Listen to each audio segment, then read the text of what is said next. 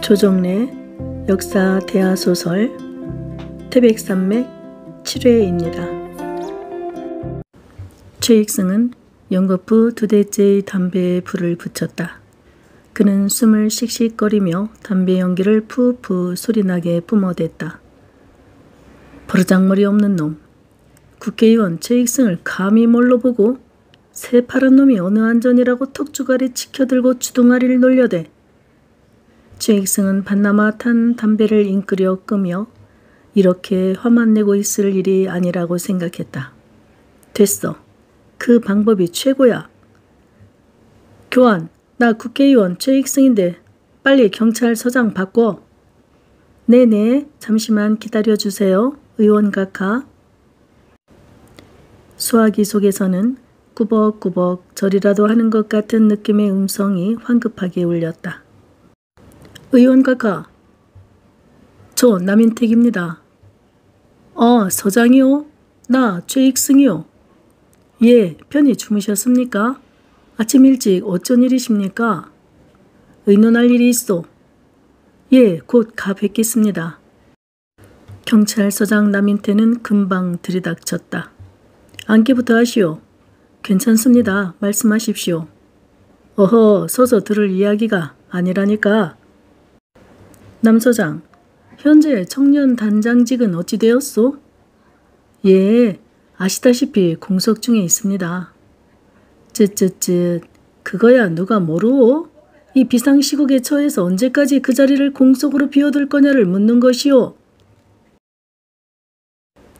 예, 계속 불색 중입니다만 시국이 시국이니만큼 선뜻 나서는 사람도 없고 해서 곧 조처하도록 하겠습니다.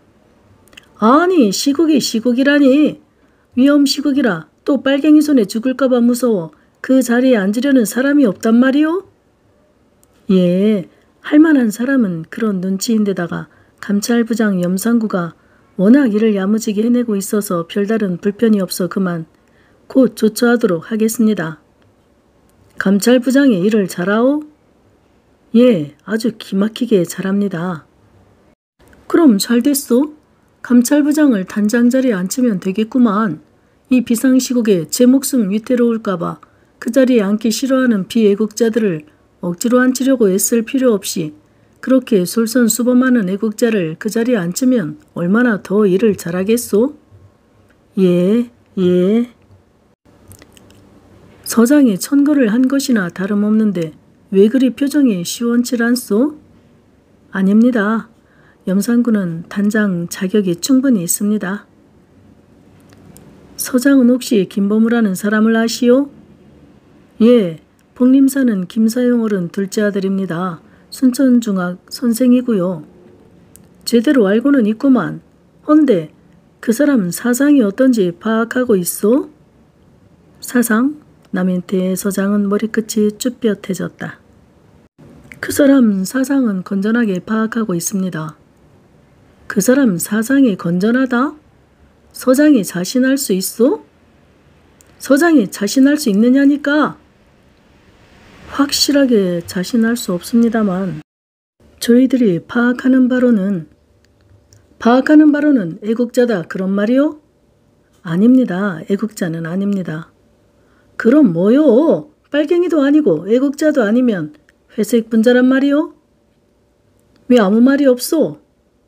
뭐라고 단정을 내릴 수가 없어서 어허 경찰서장이란 사람의 태도가 어찌 그리 모호하오. 그놈을 당장 잡아들이시오. 네? 그놈은 아주 새빨갛지는 않지만 불구죽죽하게 무리든 놈이오. 그놈이 새벽같이 날 찾아왔는데 빨갱이 편을 드는 운동을 계속했단 말이오. 그놈을 그대로 내버려뒀다간 골치 아픈 일이 생기게 돼 있어. 당분간 유치장에 처박아 두는 수밖에 없어. 그 사람이 무슨 소리를 했습니까? 그야 취조를 하면 다 알 수 있는 일이니 내가 되씹을 건 없고 우선 잡아놓는 일부터 하시오. 하지만 무슨 명목으로? 남서장! 당신은 서장 자격이 있는 사람이오? 없는 사람이오? 뭐가 무서워 오물거리는 게야? 국회의원이 잡아 넣으라는데 잡아 넣는 거지. 그만한 근거가 있으니까 잡아 넣으라는 거 아닌가? 아, 알겠습니다. 분부대로 시행하겠습니다. 남서장, 정신 똑바로 차려야 하오. 김범우 같은 놈이 남서장 수명 감수시킬 수 있는 일이니까 그놈이 나한테 뭘 했는지 한마디만 해주겠소. 아무리 공산주의 활동을 한 자라도 재판을 거치지 않은 처형은 있을 수 없고 피해자 가족의 감정에 개입된 보복 행위를 용납해서는 안 된다고 떠들었소. 용공주의자가 아니고서야 어찌 함부로 그런 말을 할 수 있겠소? 남서장 생각은 어떻소? 그 사람 그렇게 안 봤는데 확실히 위험한 데가 있습니다. 남인태는 어디선가 힘이 솟구치는 것을 느꼈다. 일단 잡아들일 명분은 충분했다. 이 일만 잘 해내면 남서장은 최익승은 일부러 말꼬리를 흐렸다. 그리고 말이오. 술도가 정사장 얘긴데 어찌 처리할 작정이오? 남인태는 바짝 긴장했다. 예, 마땅히 처리할 방도가 없어서 의원 가깝게 여쭈려고 하던 참이었습니다. 나한테 물으려고 했었다? 최익승은 상함을 뿌리로 왼쪽 손바닥을 느린 간격으로 쳐대며 생각에 잠겼다. 정 사장 아들이 자금 조달을 하려 나타나면 장본인을 체포하는 동시에 정 사장을 자금 조달책으로 얽으려고 매일 잠복을 시켰는데 아들 정화섭은 나타나지 않았습니다. 거 지금 무슨 소리 하는 거요? 정 사장을 얼굴 제목이 없어 조처를 못하고 있다는 말을 하는 거요? 예, 지금으로서는. 정신 차리시오, 남 서장. 읍내에서 방귀깨나 낀다는 사람들은 다 죽어간 판에 정 사장만 살아난 건 뭐요? 그것 이상 확실하고 분명한 죄목이 또 어디 있어? 남 서장은 지금 잠꼬대를 하는 게요, 뭐요? 어떻게 처리하면 좋을는지요? 남서장! 예, 그 자를 오늘 밤 당장 총살시키시오. 아니, 의원각하. 남인태는 뻣뻣이 굳어졌다. 왜? 못 죽일 이유라도 있어? 아닙니다. 그런 건 아닙니다. 그러나, 그러나 어쨌단 말이오? 정 사장은 유지입니다. 읍내 발전에도 공이 적지 않습니다. 아들이 빨갱이질 하는 걸 막으려고 애쓴 것을 아는 사람은 다 아는 사실입니다. 총살 말고 다른 방법을 강구해 주시기 바랍니다. 의원 각하께서 이번에 덕을 베풀어 주시면 다음번에 남인태는 삐질삐질 진땀을 흘렸다. 덕을 베풀라니 어찌하라는 거요? 제가 강력 조치를 취하는 것으로 하고 의원 각하께서 특별 선처하시는 거로 하면 정 사장이 그 은혜를 어찌 있겠습니까? 최익승은 녀석이 제법이라고 생각했다. 글쎄, 세상을 살면서 덕을 베푸는 건 나쁠 것 없는 일이지만 말이야. 그자가 선처를 하는 걸 알아야 할 텐데. 당연한 말씀입니다. 제가 바로 돌아가서 하루 종일 호되게 취조를 하고 나서 날이 어두워지면 각하 앞에 데리고 오겠습니다. 꼭 그럴 필요가 있을까? 의원 각하, 그렇게 해주시면 각하의 덕망이 온 읍내에 퍼질 것입니다. 해방이 되고 서너 달이 지나는 동안 역 건너편에 늘어선 동쪽의 쌀창고는 텅텅 비게 되었다. 그 쌀창고들이 그가 사들인 쌀가마니들로 다시 채워지기 시작했다. 최익승은 보성군 일대의 쌀로 만족할 수 없어 나주와 고창까지 직접 나섰다. 벌교에서도 몇몇 눈치 빠른 것들이 나서서 쌀을 여수로 빼돌리고 있었던 것이다. 그 대표적인 회방꾼이 윤삼거리였다. 그리고 그동안 고분고분 말을 잘 들어왔던 집안의 동생 익다리도 그 금캐는 것과 마찬가지인 내막을 알아내고는 슬그머니 등을 돌려 제 배를 채우겠다고 나서고 말았던 것이다. 장사는 어차피 돈 놓고 돈 먹는 것. 그 회방꾼들을 어찌할 도리는 없었다. 많은 쌀을 구하기 위해서는 더 넓은 곡창으로 뛰어드는 것은 너무나 당연한 이치였다. 윤삼거리나 동생 익다리가 여수로 쌀을 빼돌리는 것은 일본 상인들과 뒷거래를 하기 위해서였다. 그러나 자신은 그 방법을 미련 없이 외면했다. 허술한 단속으로 일본 배들이 일정 시대나 별다를 것 없이 항구마다 드나들고 있다고 해도 지방 당직이나마 당직을 가진 몸으로 밀수 행위를 하기가 어딘지 꺼림칙했고 더구나 이익이 더 남는 것도 아니었다. 하루에도 몇 번씩 출렁거리는 쌀값은 상상보다도 훨씬 무서운 기세로 치사오사 오르고 있었다. 너댓 달 만에 100배를 넘어섰고 반년이 지나면서 150배가 되었다. 쌀값 오르기를 부채질하고 있는 입장에서도 겁이 날 지경이었다. 1년 동안 그에게는 말로 표현이 안 되는 황홀하고도 꿈만 같은 시기였다.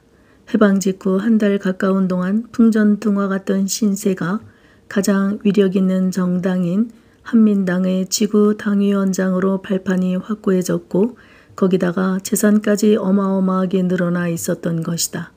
그것은 오로지 미군정이 아니었으면 이룰 수가 없는 은혜로움이었고 보살핌이었다. 미국이야말로 생광의 나라요 은혜의 나라요 부모의 나라가 아닐 수 없었다.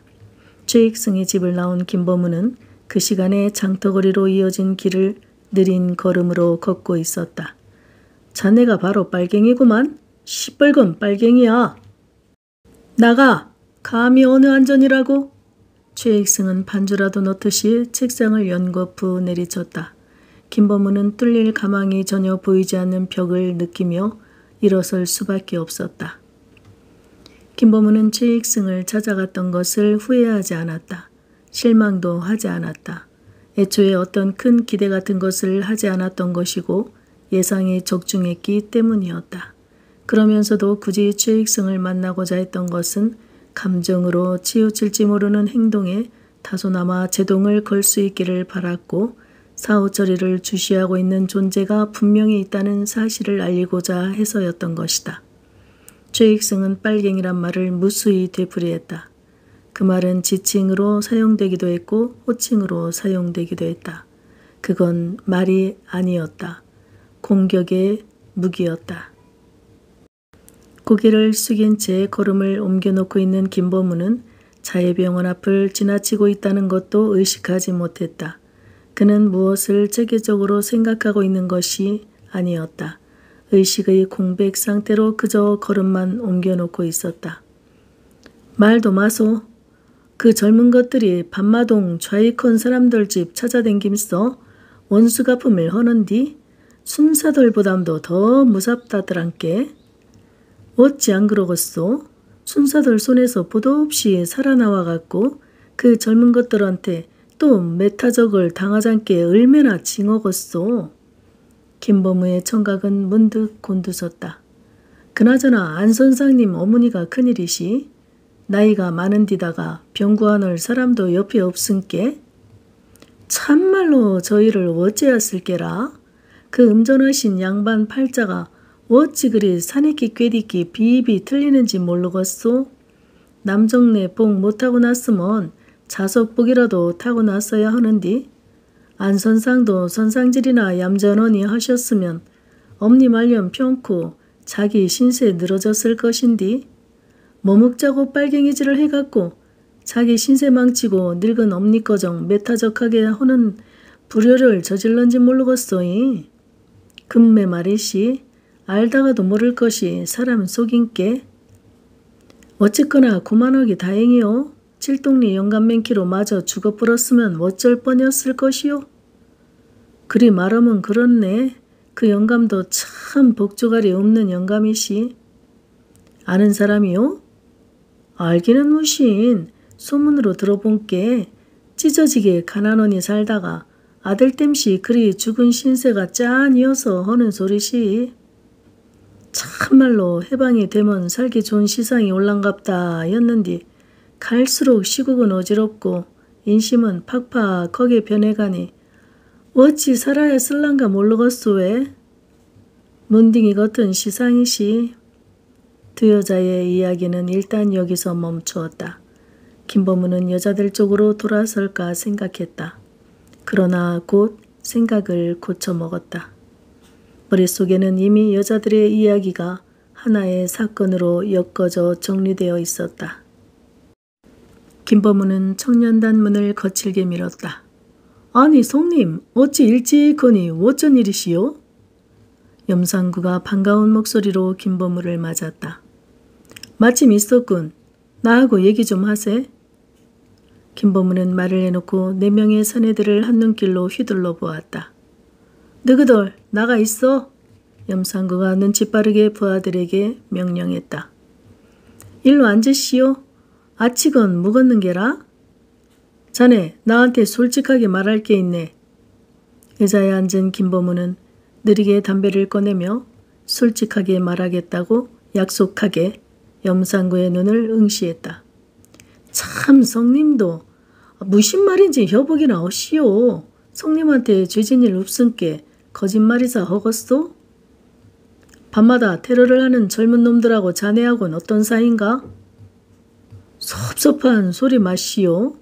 그런 대강의 피도 안 물론 어린 것더라고 나하고 무슨 사이겠소?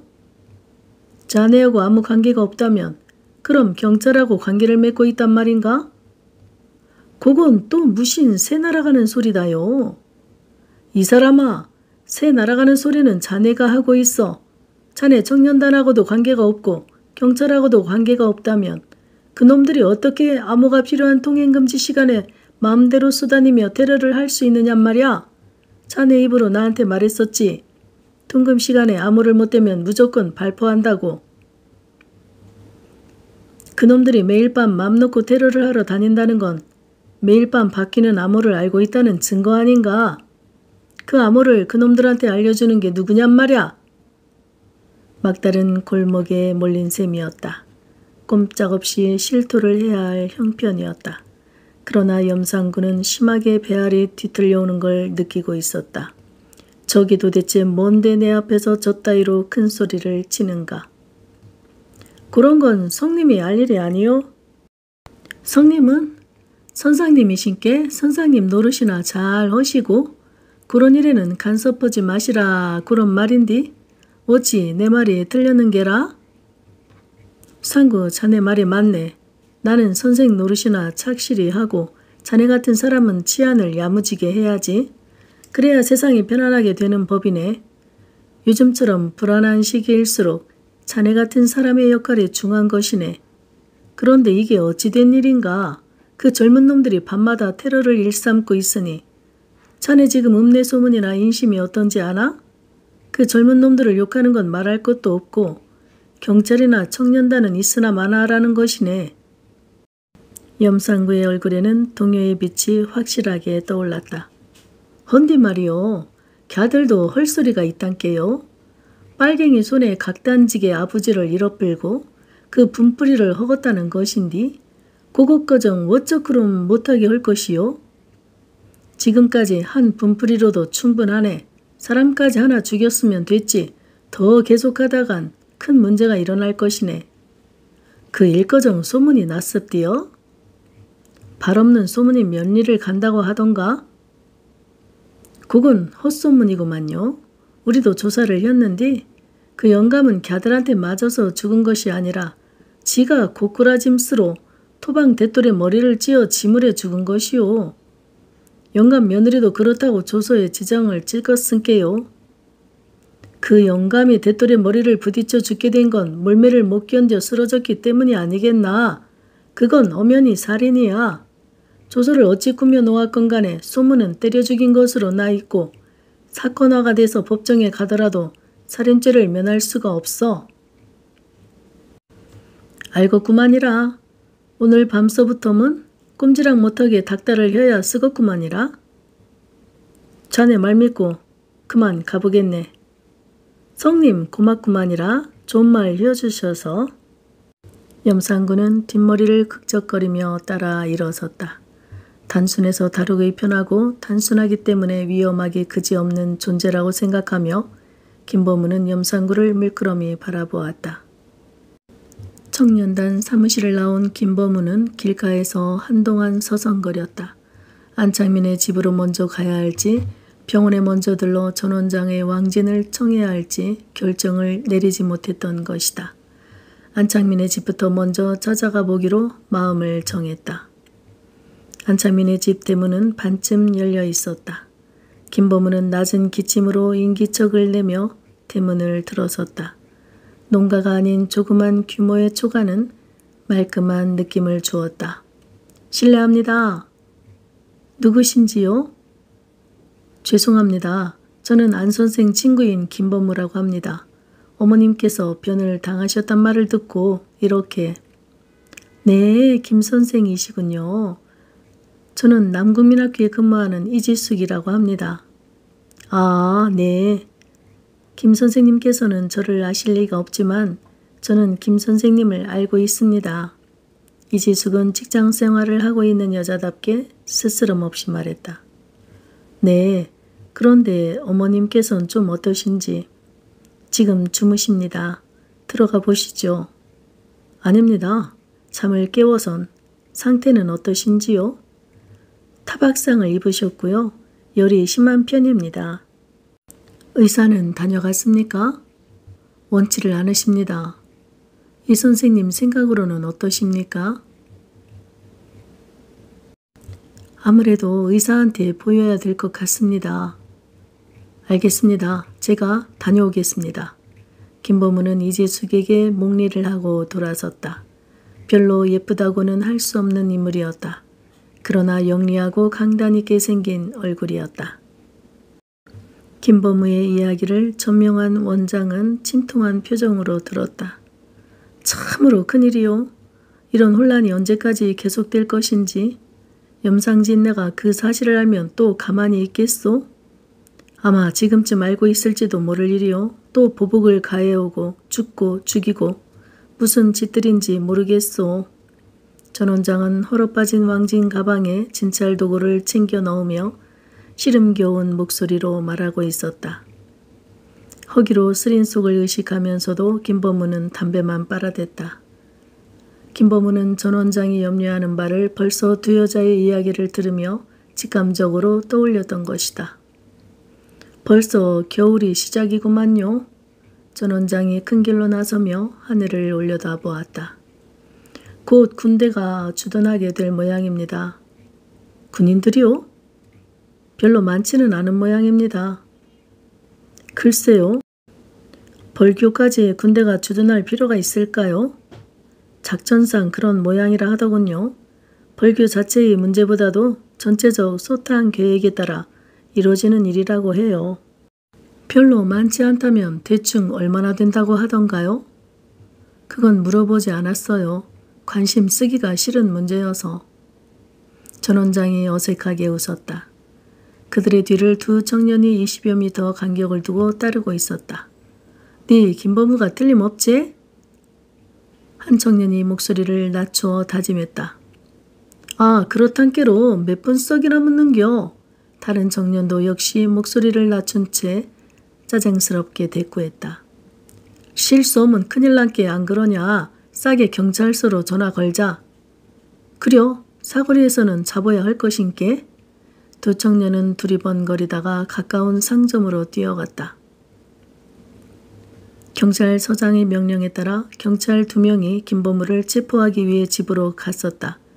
경찰들은 헛걸음을 했고 보고를 받은 서장은 청년단에 긴급 명령을 내렸다.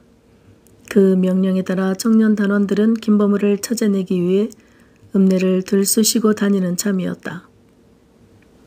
김범우는 사거리에서 남국민학교로 이어지는 골목으로 접어들다가 두 경찰이 겨눈 총부리 앞에 걸음을 멈추어야 했다.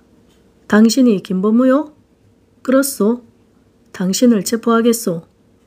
이유가 뭐요? 경찰서로 갑시다. 이유는 거기 가면 환이 나와 있을 테니까. 아니 왜들 이러시오? 우리 김 선생이 도대체 뭘 잘못했길래? 전 원장이 경찰들 앞으로 나섰다. 원장님은 가만 계세요. 다 그럴 만한 잘못이 있어서 이러는 겁니다. 좋소, 갑시다. 김범우는 피식 웃음을 흘렸다. 원장님, 천상 혼자 집을 찾아가셔야 되겠습니다. 잘 부탁드립니다. 김 선생, 전 원장은 신음처럼 소리를 흘리며 느리게 걸어가고 있는 김범우의 뒷모습을 멍하니 바라보고 있었다.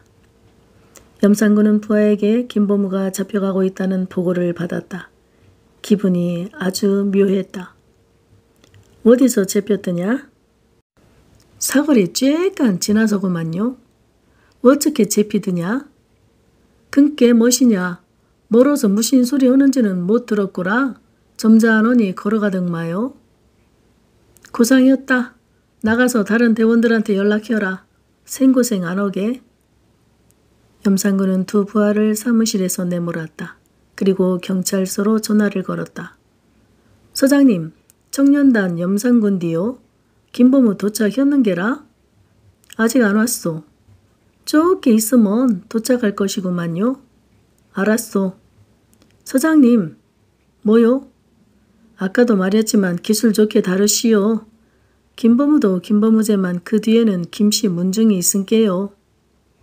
그런 걱정까진 마시오. 다 내가 알아야 할 일이니까. 전화가 끊겼다.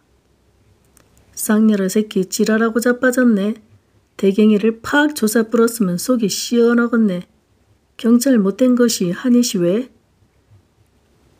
염산군은 욕지거리를 쏟아놓았다. 사실 염산군은 경찰이 아닌 것에 항시 열등감을 느끼고 있었다. 그래서 그동안 정식 경찰이 되어보려고 노력도 했었다. 그러나 그건 쉬운 일이 아니었다. 낮은 학벌에 체계적으로 아는 것 없음이 장애였고 설령 된다고 해도 말단 순경질부터 시작해야 한다는 것이 한심스럽기 짝이 없었다. 말단 순경질보다야 청년단 감찰부장의 주먹배 오야붕 노릇이 몇 갑절 세도도 크고 실속도 있는 자리였다. 경찰서장이 의도적으로 미루고 있는 까닭에 염산군은 아직 자신이 청년단 단장이 된 줄을 모르고 있었다. 염산군은 다시 고개를 갸우뚱거렸다.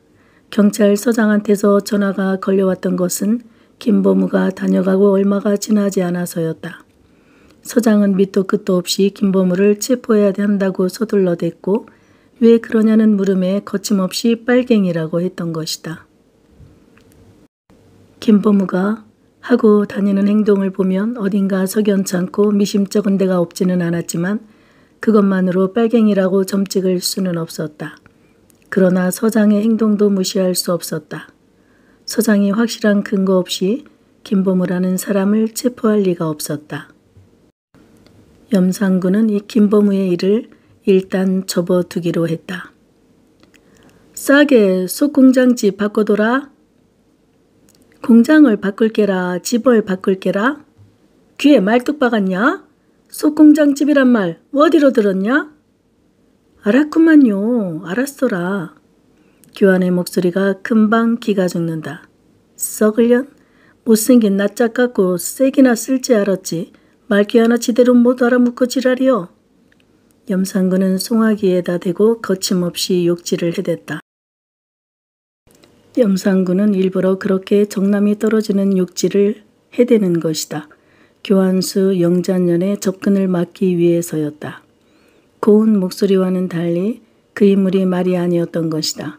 그 목소리는 카랑하면서도 나긋거리고 어떤 때 콧소리 섞은 목소리는 간을 녹일 만도 한데 그 인물이라는 것이 안진뱅이 코에다가 이마가 툭 붉어지고 이빨까지 뻐드렁니어서 가관이었다.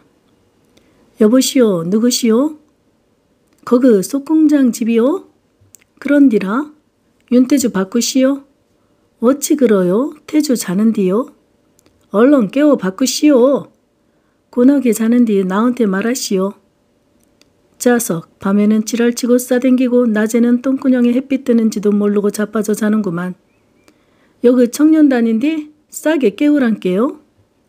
웜에 그려라. 글먼 진작 청년단이라고 할 일이제. 조금만 기돌리시오. 윤태주입니다. 부장님이십니까? 나 염산구시. 아, 안녕하십니까. 어쩐 일이세요? 할 말이 있은께 얼른 사무실로 나오소. 전화로는 안 되겠습니까? 너무 피곤해서요. 어허, 윤태주. 어찌 그리 말이 많여? 나올게요, 안 나올게요? 알았습니다. 곧 가겠습니다. 구말리 장천을 떠도는 구름. 외서댁은 물동이를 엎듯이 솥에다 물을 쏟아 부었다. 그러나 물은 반도 차지 않았다. 그 정도로는 목욕은커녕 뒷물도 하기 어려운 양이었다. 천상 우물을 한행보하지 않을 수 없는 형편이었다. 사립 밖으로 나가야 된다고 생각하자 외서댁은 불현듯 두려움을 느꼈다. 간밤에 흔적을 사람들에게 금방 들킬 것만 같았던 것이다. 남녀 관계란 것이 한강에 배 지나가기란 말도 못 들어서 이러는겨? 그 남자의 위압적인 말이 떠올랐고 외서댁은 두 손으로 귀를 막았다. 죄진 마음 때문에 그러는 것이지 옷을 입었는데 무슨 표가 나겠느냐고 외서댁은 스스로를 일깨웠다. 기왕 우물을 다녀오려면 날이 더 밝아지기 전에 다녀와야 할 것이었다. 외서댁은 물동이를 들고 부엌 문지방을 넘어섰다. 사태에 뻐근하고 묵지근한 통증이 느껴졌다.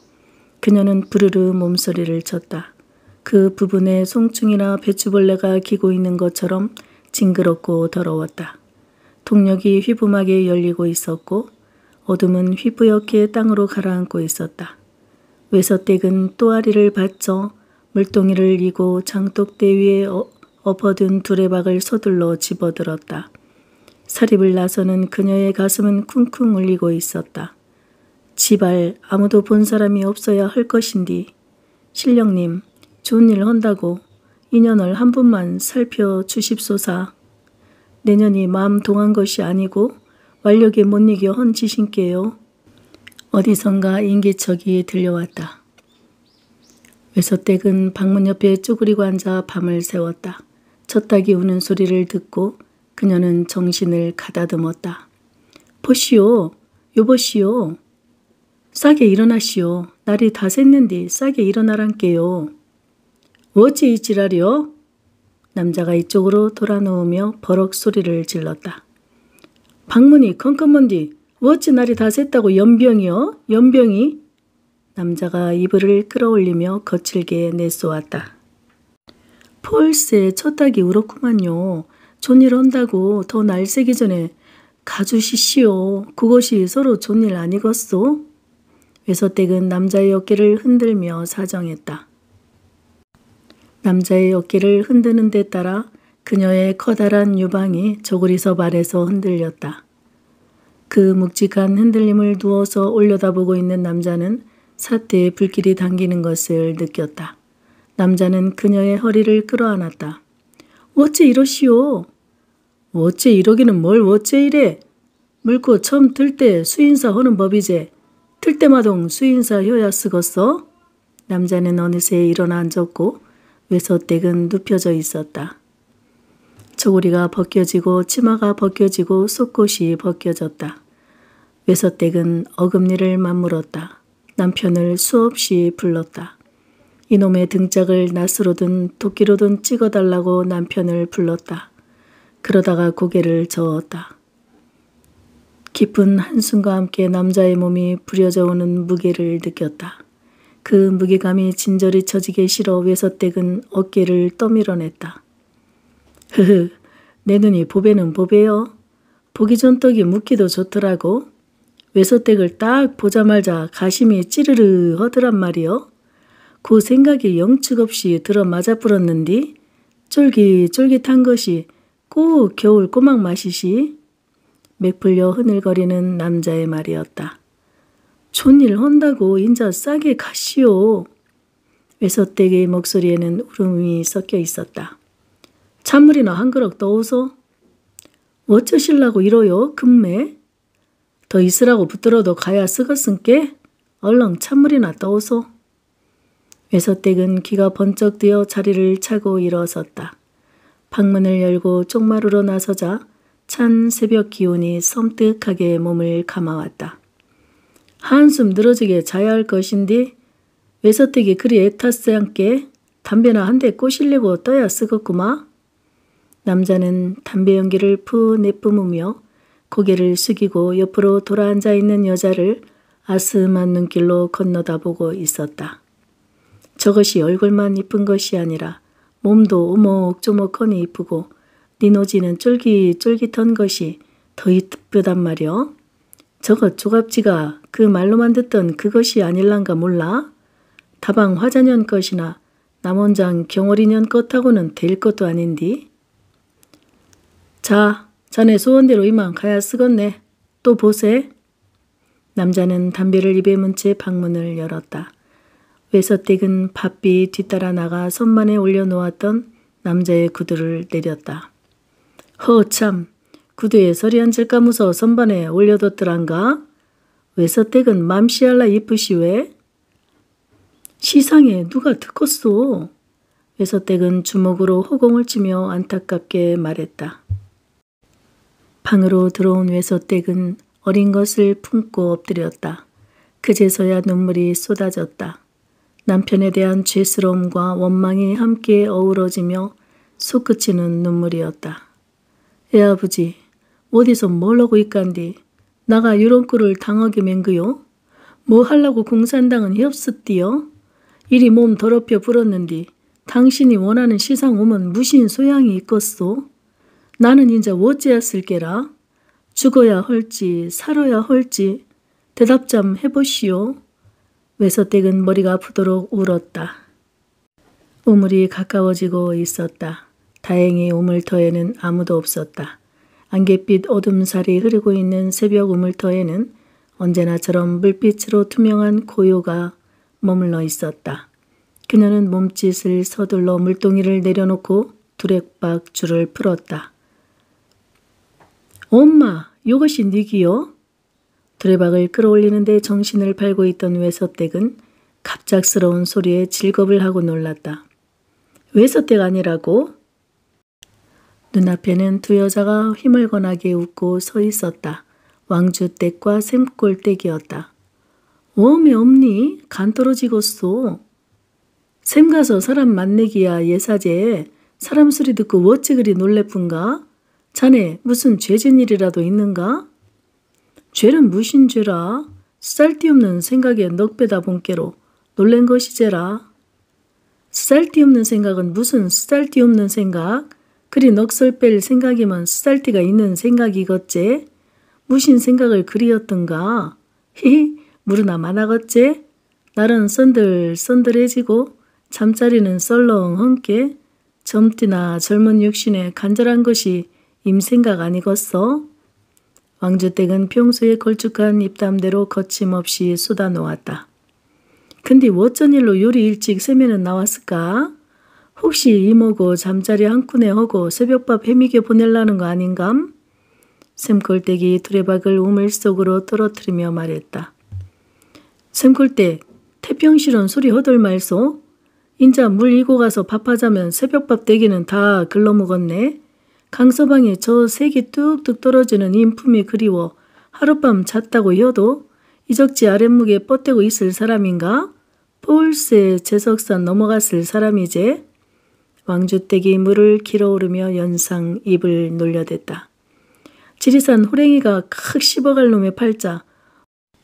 어떤 년은 쫄대기 마누라의 신샘스롱도 죽어라 메타작 당하고 어떤 년은 복이 넝클로 늘어져 대가리 마누랜디도 메타작은 안 당하고 저리 싱싱할까잉?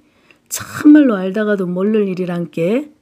샘골댁이 노골적으로 외서댁을 공박해 왔다. 어따매 어따매 그놈의 심보 한번 고약것이 샘골댁은 외서댁인 메타적을 안 당해서 배창시가 비비 꿰는 모양인디. 사람이 심보 그리 쓰면 못 쓰는 법이시. 매도 먼천 맞는 매가 낫더라고. 이제나 저제나 메타적을 기돌리고 있는 외서댁 맴이 어쩌겠는가? 아무리 속이 상여도 샘골댁은 말을 골라서 허소 왕주댁은 나이값을 하느라고 정색을 하고 샘골댁을 나무랐다. 우리 칠상이 아버지한테 공산당물 살살 미긴 것이 누군지는 아시오? 왕주댁은? 샘골댁이 파르르 길을 세웠다. 왔다. 그말 중 연불드댁이 자네한테 폴세 수십 분도 더 들었네. 근데 여기 외서댁도 있는 자린께로 탁 터놓고 하는 말인디. 자네 서방이 세살난 아가들도 아닌 것이고 지 맘에 공산당물 묵을 맘이 하나도 없었는디도 강서방이 미긴다고 그냥 묵었을 것인가? 양코 배기들이 우리 가난하고 불쌍한 사람들 편이 아니란 것은 초장에 폴세 알아불었고 그것들이 허는 짓거리가 날이 날마동 못 사는 사람들 지름짜기로 변해가는 판인디 해방이 되었은께 한판 사람 맹키로 살아보자 하고 맘 단단하니 묵었던 정신 지대로 박힌 남정네들이 어째야 였겠어? 그런 잘못된 시상을 막자면 대거리를 하고 나서는 질밖에 없는디 그리 나서는 사람들을 경찰에서는 어쩌든가? 시상이 다 알댔기 좌익으로 몰아때리지 않더라고? 누가 좌익이 되고 잡아 좌익이 돼간디? 옳은 소리여도 좌익, 바른 소리여도 좌익, 다 좌익으로 몰아쳐서 꼼지락달싹 못하게 맹그는 판인께 좌익질도 한 분 똑바라지게 못 해보고 경찰이 맹근 대로 좌익죄 받느니 진짜 백이 좌익질이나 한판 해불고 보자 하고 남장네들 맘이 서로 통한 것 아니겠는가? 그런 속사정 다 암스롱도 자네가 외서댁 볼 때마동 그리 애맨소리 했사먼 서로 좋을 것이 뭐 있는가? 왕주댁은 샘골댁을 달래는 듯한 눈길로 쳐다보았다. 외서댁은 왕주댁에게 더 없는 고마움을 느꼈다.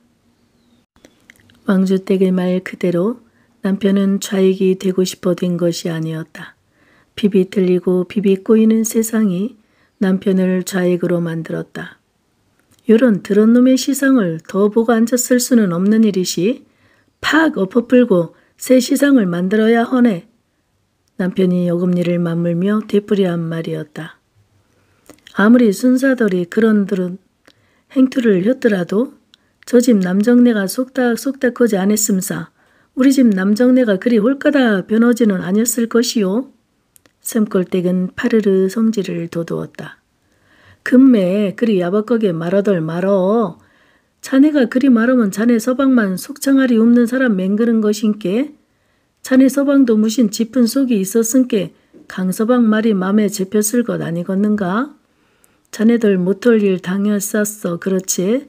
우리 찔이 어느 말로 좌익이 나쁠 것이 어디가 있는가? 니나 없이 공평하게 사는 시상 맹글겄다는 것인디 가난한 농세꾼들 치고 그런 시상 안 바라는 사람이 어디 껐어? 다 장언일 헐라는 것인께 서로서로 다독기림서 살아야 쓰는 것이네. 나가 그런 사정 몰라서 그러는 것이 아니오 성님. 인자 나는 순사놈들이고 소방서 놈들이고 청년단 놈들이고 싹 다 이가 갈리는디다. 공산당도 징허요. 이놈한테 머리끄댕이 끄들치고 저놈한테 메타작 당하고 험스로 개돼지 맹키로 사느니 팍 그냥 죽어 불고 잡소. 아 새끼들만 없었더람사 나가 폴세 죽어 불었을 것이요. 샘골댁은 안개 속에다가 진한 한숨을 토해냈다. 외서댁은 물동이만 잡고 서 있었다. 그런 샘골댁의 심정을 충분히 헤아릴 수 있었다. 그건 곧 자신의 심정이기도 했던 것이다. 아서 아서 그런 막가는 생각 허덜 말어. 자네 앞질 안직도 구말리요. 맘 독하니 묻고 기돌리면 다 때가 오는 것이요. 금매 맘을 독하니 묻고 서로 시린 속 짚어가면서 살라고 여도 메타자갈라 나 같은 년만 당한께 그도저도 다 소양 없이 오기만 치뻗어 올러요. 하면 어쩔 것인가 각단지게 메타작 당해 몸 상하는 것보다는 한 사람이라도 메타작 피해 몸 성하면 좋은 일 아니겠는가. 오사랄놈의 공산당 치가 떨리요. 샘골댁은 빠드득 이빨을 갈아붙였다. 나 가볼라요. 외설댁은 줄을 다 감은 두레박을 든 채 기죽은 목소리로 말했다. 어이 얼른 가보소. 화가 나서 언소린께 샘골댁 말을 시업하게 생각 말고. 하모니라 다 우리 애 아버지가 잘못한 일인디요. 외서댁은 샘골댁에게 사과라도 하듯 말했다. 한 말도 말소. 남정네들이 서로 마음통에 혼일인디 두부 모 잘르듣기 잘하고 잘못한 것을 게릴 방도가 없는 일인께. 피, 성님은 말 한 번 요상스럽게 허여이. 좋은 일 한다고 맘 죽기 묵지 말란께로 남정네들은 조우나 구주나 뜻합쳐 한푼에 고상하고 있는디 직구석서 옆편네들이 서로 미워하고 쥐어듣고 여서 좋을 일이 뭐 있겠는가? 서러운 신세 서로 다투겨도 추울 것인디. 걸음을 옮겨놓고 있는 외서댁은 뒤에서 들려오는 왕주댁의 말에 가슴이 저리도록 고마움을 느꼈다. 외서댁은 물동이 아래 맺히는 물방울을 왼손으로 훔쳐 뿌리며 젠 걸음을 쳤다. 한 걸음이라도 더 그들에게서 멀어지고 싶었다. 매사의 눈치 빠른 왕주댁의 눈길이 두려웠고 얼굴을 대하기만 하면 적대감을 드러내는 샘골댁을 상대하기가 겁이 났다. 외서댁은 샘골댁을 미워해선 안 된다고 생각했다. 샘골댁의 말에는 마디마디 가시가 돋치고 옹이가 박이고는 했지만 입장을 바꿔놓고 생각하면 결코 무리하다고 할 수도 없었다. 남편은 분명 회정리와 장양리의 공산당 우두머리였고 두 동네에서 좌익을 하게 된 사람들은 모두 남편을 통해서 무리든 모양이었다. 며칠 사이에 두 동네에서 일곱이나 죽어갔다. 그리고 새 집이 밤중에 몰매질을 당했다. 샘골댁도 그 중에 하나였다. 줄초상의 몰매질이 이어지는 동네의 분위기는 삭막했다. 그 모든 잘못을 자신이 저지른 것만 같아 외서댁은 사립밖을 나갈 수가 없었다. 여자의 몸이니까 간신히 죽음을 면하고 살아난 것이라고 하더라도 물매질은 첫 번째로 당했어야 했을 것이다. 그런데 이상스럽게도 외서댁네만 빼놓고 물매질이 가해졌던 것이다. 밤이면 밤대로 낮이면 낮대로 외서댁은 피가 말라드는 고통을 겪어야 했다. 밤이면 물매질을 기다리며 잠을 설쳐야 했고 낮이면 물매질을 당하지 않은 죄스러움으로 얼굴을 들 수가 없었다. 참말로 요상스럽소이. 어째서 그 개잡녀러 새끼들이 외서댁만 쏙 빼놓는지 모르겠네. 그 이쁜 얼굴로 호랭이가 씹어갈 그놈들을 각단지게 홀려 풀어서 그랬을까? 참말로 귀신이 그걸 할 노릇이시. 샘골댁은 멍든 얼굴을 하고와 오기 바친 소리로 비아냥거리고 가고는 했다. 그런데 지난밤에 그 남자가 들이닥친 것이다. 그 남자가 청년단 감찰 부장이라는 것을 알아본 순간 그리고 그 남자가 혼자라는 사실을 확인한 순간 외서댁은 모든 것을 알아차렸다. 그리고 한가닥 기억이 선명하게 살아 올라왔다. 북국민학교에 잡혀가 조사를 받을 때의 일이었다.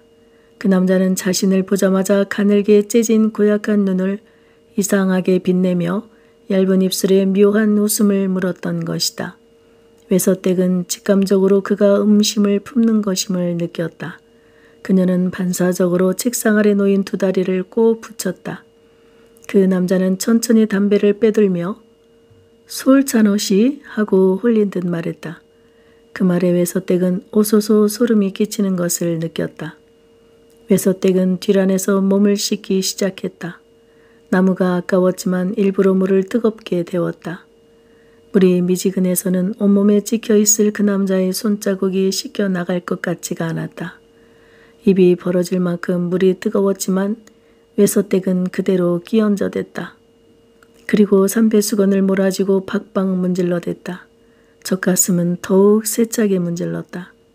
아이가 빨 젖에 더럽게도 그 남자의 침이나 입김이 묻어 있어서는 안 될 일이었다. 그녀는 그곳에 물을 끼얹었다. 저절로 엄니 소리가 신음처럼 흘러나왔다. 쓰리고 아린 통증이 견디기 어려웠지만 남편에 대한 죄의식을 생각하면 아무것도 아니었다. 뜨거운 물로 이리 씻어낸다고 남편에 대한 죄가 씻겨지는 것일까?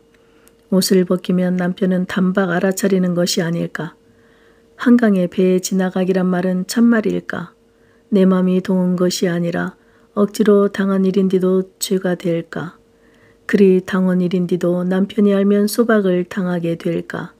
그녀의 생각은 질정 없이 엇갈리고 있었다.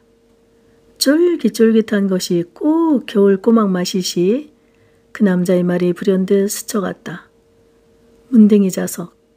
그녀는 욕을 내뱉으며 머리를 짤짤 흔들었다. 자네 물건은 필경 예사 물건이 아닐 것이네. 옴죽옴죽 하는 것이 붕아리고 배짱 쓰고 다 뽀라댕겨 볼라고 이 말이시. 나가 장기 하나 제대로 들었단 맛이 일을 마치고 난 남편이 드문드문 서너 차례 했던 말이다. 그러나 그녀는 그것이 무슨 말인지를 알 수가 없었다. 왜 자신의 그것이 옴죽거린다는 것인지 어째서 배창자까지 빨아당긴다는 것인지 알 도리가 없었다. 더구나 그리도 기운 빠져 하면서도 장가 하나는 제대로 들었다고 휘게 웃는 남편의 말은 이해가 되지 않았다. 남편하고 잠수로 니는 남편이 하는 대로 죽은 뒤기 있어야지 따로 네 기운 쓰덜 말어. 여자가 따로 기운 쓰는 것 아닌 법인께로 애미 말 명심이여. 시집 오기 전날 밤 친정어머니가 나직나직 한 말이었다. 눈치로 짐작으로 알아들었을 뿐 여자가 따로 기운 쓰는 것이 무엇인지 어떻게 해야 기운을 쓰게 되는 것인지 알 수가 없는 채로 신방을 차렸다. 그런데 그 일이란 것이 묘하고도 요상스러웠다.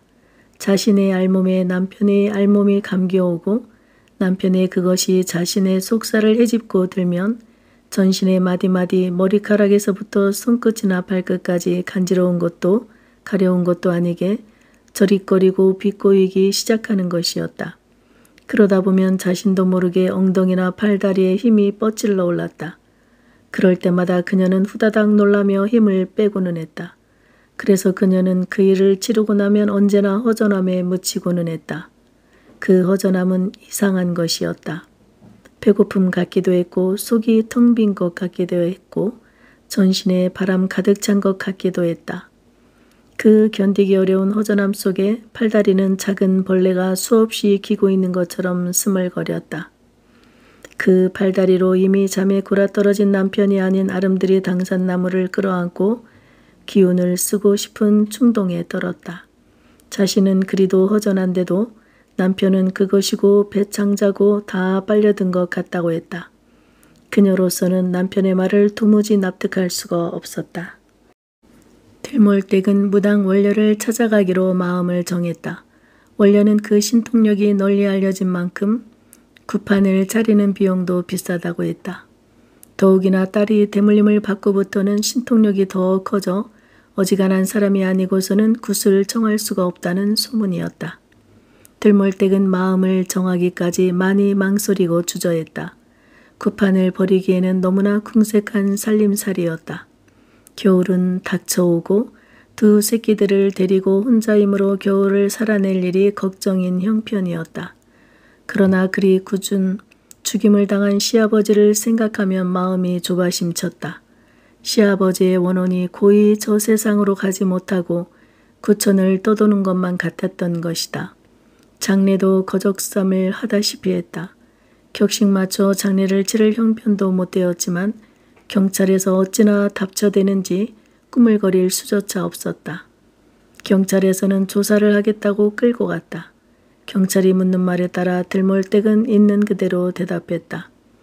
그리고 경찰이 시키는 대로 여러 번 손도장을 눌러댔다. 경찰은 말끝마다 빨갱이 집구석이라는 말을 붙였고 들몰댁은 그저 주눅이 들어 있었다. 손도장을 눌러댄 종이에 적힌 내용이 무엇인지 알 수가 없었고 그것이 무슨 내용이냐고 물을 엄두도 내지 못했다. 조사를 끝낸 경찰에서는 장례를 빨리 치르라고 몰아댔다. 그녀는 억울하고 허망한 시아버지의 죽음을 앞에 놓고 결혼 후 처음으로 남편을 원망했다. 아무리 달리 생각하려 했지만 시아버지를 명대로 살지 못하게 한 것은 결국 남편이었다. 따라서 그런 막심한 불효를 저질러가며 남편이 벌이고 있는 좌익운동이라는 것이 과연 옳은 것인가 하는 의문도 처음으로 일어났다. 그녀는 손으로 더듬어 머리에 상장이 꽂혀 있는 것을 확인하고 방을 나섰다. 엄니 어디 갈란가? 작은 아들 종남이가 햇살이 따스한 토방에서 흙장난을 하고 놀다가 팔딱 일어나며 물었다. 성은 어디 갔냐? 치과네. 어째 배 아프다냐? 잉? 성 지 혼자 붙이기 배 터지게 돌라먹었은께 배 아프제? 어린 것이 품 안으로 파고들며 일러바치듯 고소하다는 듯 말했다. 들몰댁은 소리 없이 혀를 찼다. 오랜만에 생선 부찌개 몇쪽 얻어먹은 것을 제대로 사귀지 못하고 배탈이 난 모양이었다. 큰아들이 바지를 지켜 올리며 헛간에서 나왔다. 길라마, 배 많이 아프냐? 아니요, 좁게 아플라고 여서 치간에 갔어라우. 니 참말이여? 야, 암시랑도 아니어요. 들몰댁은 자신도 모르게 아버님 고맙구만이라 하고 중얼거렸다. 시아버지의 손자들 사랑이 그리도 지극했는데 그 영전에 올린 음식을 먹고 애들이 탈이 날 리가 없다는 믿음이 그녀의 가슴을 채웠다. 성, 네 배가 무작거니 아파 똥 막 싸야 하는디? 네 죽어? 요리 나와. 작은 아들이 들몰떡의 치마를 거머잡고 등 뒤로 쫓겼다. 아서 아서 길라마 성이 참아야 하는겨.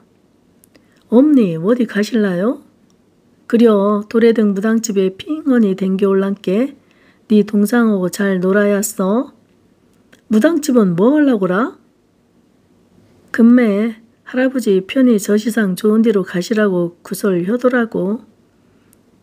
엄니 그것은 쓰잘데 없는 미신이여라. 쓰잘데 없기는 그런 소리 하는 것 아니요. 학교에서 배웠는디 굿떠고 점치고 하는 것은 다 쓰잘데 없는 짓거리라고 했단께요. 들몰댁은 더 말이 막혔다. 알겠어. 학교에서 배운 것은 배운 것이고 엄니 핑 댕겨올 것인께 동상하고 싸우지 말고 잘 들고 놀아야써.